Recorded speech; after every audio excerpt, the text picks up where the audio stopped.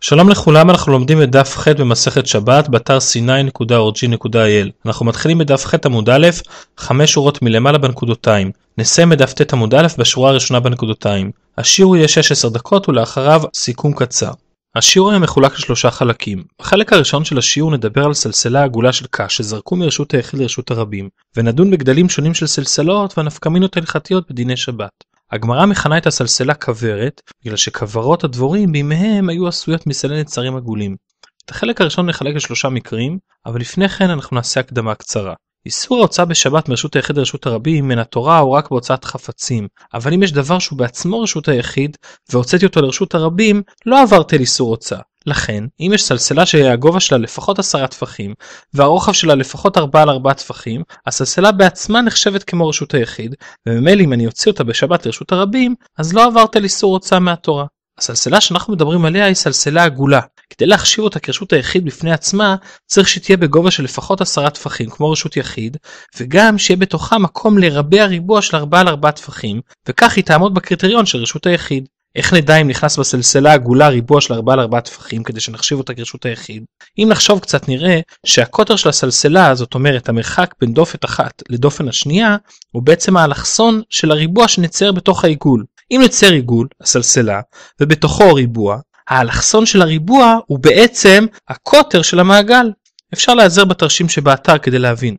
את גודל הריבוע הרי אנחנו יודעים, 4 על 4 טפחים. אז אנחנו מחפשים את האורך של האלכסון של הריבוע, וכך נדע את הקוטר של הסלסלה. הריבוע הוא 4 על 4 טפחים. מה האורך של האלכסון של ריבוע של 4 על 4 טפחים? אז יש לנו כלל גיאומטרי שמופיע בחז"ל. כל אמתא בריבוע, אמתא ותרי חומשה באלכסונה. זאת אומרת, היחס בין הצלע של הריבוע לאלכסון שלו הוא 1 ו-2 חומשים. זאת אומרת 1.4. הכלל הזה גם מוכר לנו מעולם הגיאומטריה כנגזרת של משפט פיתגורס הידוע.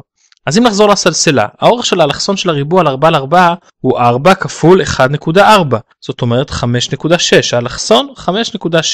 אבל הגמרא מעגלת ל-6.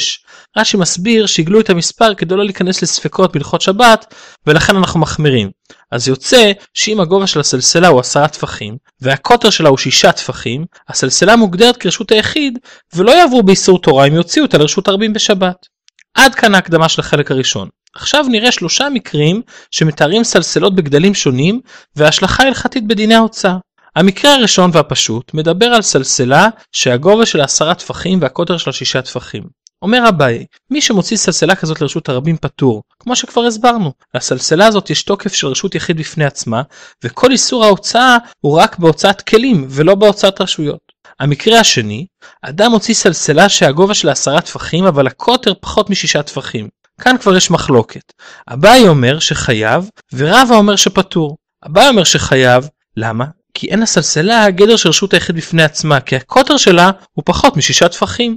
לעומת זה רבא אומר שפטור. מה הסיבה? אומר רבא, אנחנו מדברים על סלסלה בגובה עשרה טפחים, וזה נכון שאין לסלסלה גדר של רשות היחיד, כי אין לה רוחב של שישה טפחים, אבל במציאות בסלסלה שעשויה מנצרים, יש בליטות של קנים שבולטות גם מעבר לגובה של עשרה טפחים. הגובה של רשות הרבים הוא עשרה טפחים, וכשסלסלה מונחת על הארץ, חלק ממנה בולט מעבר לרשות הרבים. יוצא שלא כל הסלסלה נמצאת ברשות הרבים, ורק אם כל הכלי מונח ברשות הרבים מתחייבים באיסור הוצאה, וממילא אדם שהוציא את הסלסלה לא עבר באיסור תורה. אביי יגיד שאומנם יש בליטות קטנות שחורגות מעבר לעשרה טפחים, אבל הן לא משמעותיות מספיק כדי שאנחנו נחשיב אותן. אז אם נסכם את המקרה השני, אדם מוציא סלסלה שגובה עשרה טפחים, אבל הקוטר שלה פחות משישה טפחים. אביי מחייב, זה הוצאת כלי רגילה מרשות לרשות, ורב הפותר, כי לא כל הכלי נמצא ברשות הרבים. המקרה השלישי, אדם מוציא סלסלה אבל הניח אותה הפוך עם הפנים כלפי מטה. אז אם הגובה של הסלסלה פחות משבעה טפחים ומשהו, אז בוודאי חייב בהוצאה בדיוק כמו במקרה הראשון. אבל אם גובה הסלסלה הוא מעבר לשבעה טפחים, או בלשון הגמרא שבעה וחצי טפחים, כאן יש מחלוקת. אביי סובר שפטור, ורב אשי סובר שחייב.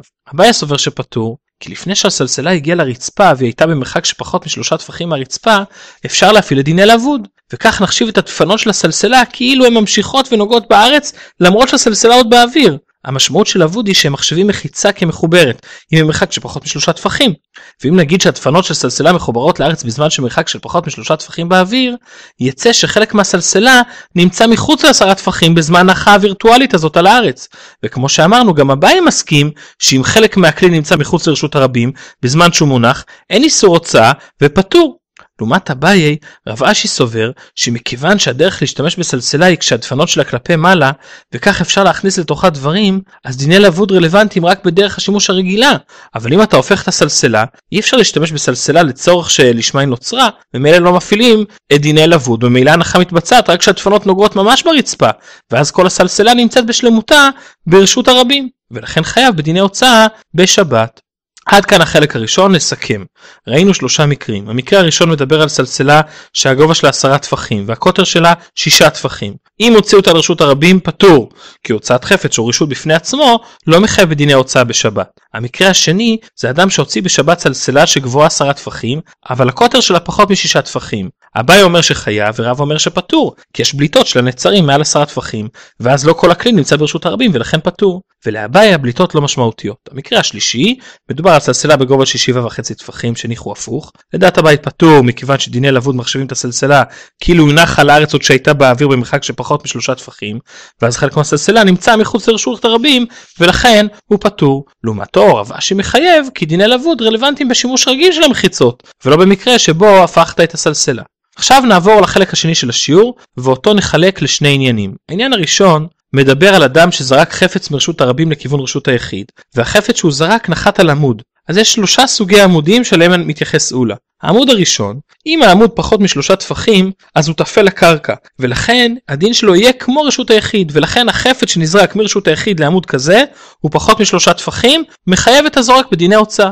עכשיו העמוד השני שלו אנחנו נדבר זה אם העמוד גבוה יותר משלושה טפחים אבל פחות מתשעה אז העמוד נחשב כמקום פטור והחפץ שנח עליו לא מחייב בדיני הוצאה. מצד אחד העמוד לא טפל רשות הרבים ומצד שני אין לו חשיבות עצמאית. והעמוד השלישי, העמוד הוא בגובה של תשעה טפחים אז אנשים משתמשים בו כדי לקטף, הכוונה להיעזר בו בזמן שהם סוחבים מסעות והוא משמש את הרבים ברשות הרבים ואז הוא נחשב כמו רשות הרבים. ולכן אם אדם יזרוק חפץ מרשות היחיד לכיוון כזה עמוד בגובה של תשעה טפחים אז הוא יתחייב בדיני הוצאה. עד כאן העניין הראשון, נסכם בקצרה, אומר אולי אם אדם זרק חפץ מרשות היחיד לרשות הרבים והחפץ נפל על עמוד, אם העמוד פחות משלושה טפחים הוא חייב, כי הוא טפל לקרקע, אם הוא בין שלושה לתשעה טפחים אז הוא פטור, ובעמוד של תשעה טפחים הוא חייב כי הוא נועד לכיתוף. העניין השני הוא המשך ישיר של העניין הראשון, אבל במקום לדבר על עמוד ברשות הרבים, אנחנו מדברים על גומה ברשות הרבים. בור קטן. הבסיס להשוואה כזאת היא שכמו שרשות היחיד יכולה להיות בגובה, היא יכולה לבוא לידי ביטוי גם בעומק הקרקע, זאת אומרת שאם יהיה לי בור של 4 על 4 טפחים בגובה 10 טפחים, הוא ייחשב כרשות היחיד בדיוק כמו אם יהיה לי תל ברוחב ובגובה כאלה. אביי שאל את רב יוסף, אם אדם זרק חפץ מרשות היחיד לרשות הרבים, והחפץ נפל לבור קטן של תשעה טפחים ברשות הרבים, האם נחשיב את הבור כרשות הרבים ויהיה חייב, או לא? ענה לו רב יוסף, כן, כמו בעמוד. אם הגומה בעומק של תשעה טפחים יהיה חייב, מכיוון שאנשים מצניעים את החפצים שלהם בקומה כזאת, והיא חלק מרשות הרבים. אבל רב החולק על רב יוסף וסופר, שאומנם משתמשים בבור כזה, אבל רק בשעת הדחק, ולכן שימוש כזה לא מספיק משמעותי שנחשיב את הבור כמו רשות הרבים. אז שתי דעות, לדעת רב יוסף גומה של תשעה טפחים ברשות הרבים דינה כרשות הרבים, ולדעת רבא גומה כזאת לא נחשבת כרשות הרבים. עכשיו הגמרא מביאה שתי קושיות על שיטתו של רבא. הקושייה הראשונה היא של רבדה בר מתנה מברייתא. כתוב בברייתא שאם לאדם הייתה קופה בגובה של עשרה טפחים ברוחב של ארבעה על ארבעה, לקופה הזאת יש סטטוס של רשות היחיד, ולכן אסור לטלטל ממנה לרשות הרבים ולהפך. אבל אם הייתה הקופה קטנה יותר, אז אין יותר סטטוס של רשות היחיד ומותר לטלטל ממנה לרשות הרבים וגם להפך. ומסיימת הברייתא, וכן בגומה. אז הנה ראיה שאין הבדל בין גומה לבין עמוד, בשניהם הדין דומה. כמו שאם הקופה היא פחות מגובה עשרה טפחים, אז דינה כמו רשות הרבים, כך גומה בגובה דומה דינה כמו רשות הרבים. אז זו הוכחה לרב יוסף שאמר שבור של תשעה כרשות הרבים, וסתירה לרבא שאמר שבור כזה לא נחשב רשות הרבים. עונה הגמרא לא. יכול להיות שכל ההשוואה של הברייתא לגומה היא רק לחלק הראשון, שאם הקופה גבוהה עשרה דינה כשרות היחיד, ועל זה אמרה הברייתא, וכן לגומה, גם גומה שגובה עשרה טפחים נחשבת כשרות היחיד. אבל לפי הבנה הזאת, הברייתא לא לימדה כלום על גומה של תשעה טפחים, ולכן אין ראיה לרב יוסף, וגם לא סתירה לשיטתו של רבא. הקושייה השנייה של הרב עדה בר מתנה מתחילה בעמוד ב'. בשבת אסור לצאת מהעיר יותר מאלפיים אמה, מה שנקרא תחום שבת. אבל אם אדם הניח עירוב תחומים, זאת אומרת הוא הניח אוכל כבר מיום שישי וקבע שביתה בתוך התחום שבת, הוא יכול ללכת בשבת עוד אלפיים אמה מהמקום שהוא הניח את העירוב. כתוב בברייתא שאם האדם הניח את העירוב תחומין בתוך הבור, אז זה תלוי. אם העירוב נמצא למעלה מעשרה טפחים העירוב מועיל, ואם העירוב למטה מעשרה טפחים העירוב לא מועיל. הגמרא מנסה להבין את הברייתא. אם הבור שהברייתא מדברת עליו הוא בור של לפחות עשרה טפחים, ומה שכתוב למעלה מעשרה, הכוונה שהאוכל תלוי בתוך הבור באמצע, זה לא ייתכן, בגלל שאם הבור כל כך עמוק ויש לו עשרה טפחים, אז הרי אסור להוציא דברים מתוך הבור, כי הבור בעצמו נחשב לרשות היחיד. וההלכה אומרת שהעירוב חייב להיות ברשות שלך, במקום שיש לך גישה אליו. אלא בוודאי הברייתא מדברת על בור שהגובה שלו פחות מעשרה טפחים. ובכל זאת כתוב בברייתא שאם האוכל נמצא בכזה בור העירוב עירוב ומותר לקחת את האוכל ממנו. וזה סתירה למה שאמר רבא. רבא הרי אמר שאם הבור הוא של תשעה טפחים אין לו דין של רשות הרבים. אבל כאן בברייתא אנחנו רואים שיש לו דין של רשות הרבים, אחרת לא היינו מתירים להניח את העירוב במקום הזה. אז רבא תירץ שני תירוצים בזמנים שונים. התירוץ הראשון, בברייתא בכלל מדובר על כרמלית ולא על רשות הרבים, ורשות הרבים הכוונה למה שהוא לא רשות היחיד.